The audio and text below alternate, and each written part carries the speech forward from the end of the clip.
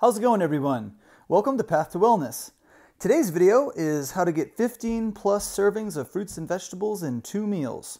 So if you're not yet subscribed, please click the subscribe button and check the bell so you're notified of my new videos. Thanks a lot. Yeah, so this is just another what I eat in a day video.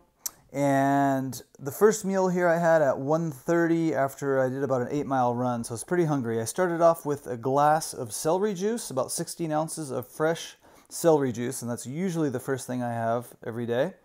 Then I had a couple scoops of some Markus Rothkranz Green Pro C formula, just mixed in water. That's just mainly dried herbs, is what that is.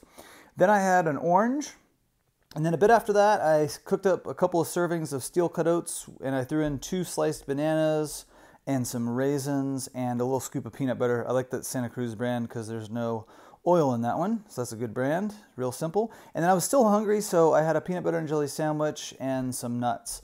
Now, some people might think this is a lot of fat, but um, this is just what seems to work for me. So if you don't want to eat that much fat, then just mix it up and um, you know have more oatmeal or sweet potatoes or something that's lower in fat.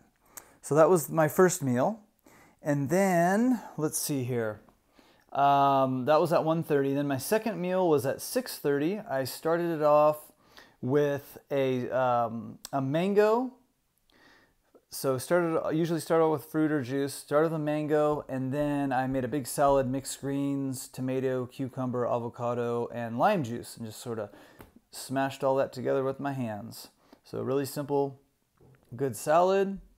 And then after that, I had a sweet potato with hot sauce. So, or a few sweet potatoes. So that's it. Thanks for watching and give it a thumbs up if you like it and we'll see you soon. Bye bye.